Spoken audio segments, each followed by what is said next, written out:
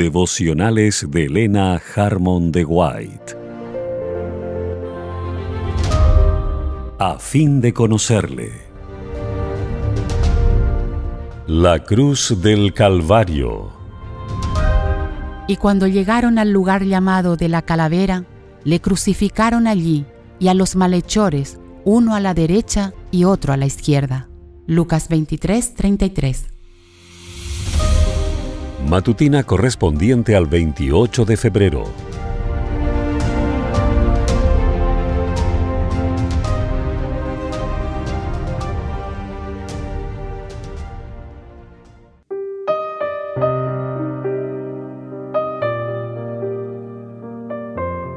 La cruz del Calvario es una poderosa exhortación que nos da una razón por la cual debiéramos amar a Cristo ahora y por qué debiéramos considerarlo primero, lo mejor y el último en todas las cosas. Debiéramos ocupar el lugar que nos corresponde, humildemente, arrepentidos, al pie de la cruz. Podemos aprender una lección de humildad y mansedumbre al subir al Calvario, contemplar la cruz y ver la agonía de nuestro Salvador, el Hijo de Dios que muere, el justo por los injustos. Contemplada aquel que con una palabra podía convocar a legiones de ángeles para que lo ayudaran, sometido al vilipendio, burla, oprobio y odio.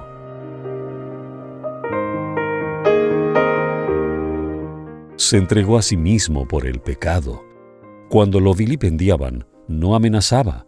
Cuando fue falsamente acusado, no abrió su boca oró en la cruz por sus asesinos, murió por ellos, pagando un precio infinito por cada uno de ellos.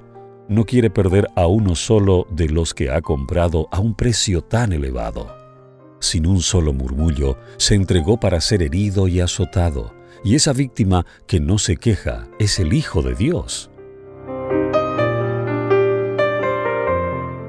El Hijo de Dios fue rechazado y despreciado por nosotros. Al ver plenamente la cruz, al contemplar por fe los sufrimientos de Cristo, ¿podéis narrar vuestra historia de dolor y vuestras pruebas?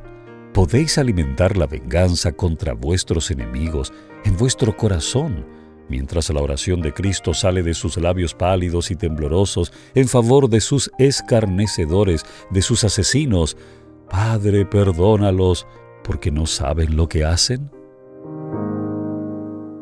Ya es el momento de que dediquemos las pocas horas que nos quedan del tiempo de gracia para lavar las ropas de nuestro carácter y emblanquecerlas en la sangre del Cordero, a fin de que seamos de esa multitud cubierta de mantos blancos que estará en pie delante del gran trono blanco.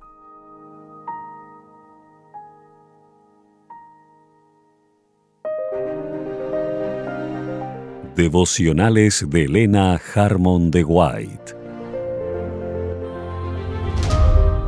A fin de conocerle.